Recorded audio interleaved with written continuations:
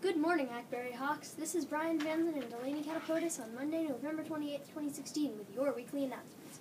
We hope you had a great Thanksgiving break. Please stand and join us in the Pledge of Allegiance.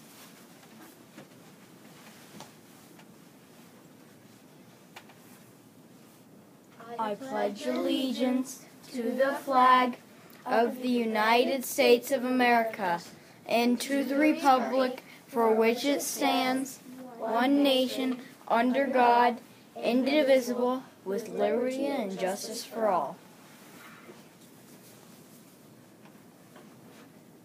Today is National French Toast Day. Did you know that French toast was not created in France? Important information. Remember, there's 27 days till Christmas. Here's Miss Petty reading a book that will be for sale at the book fair.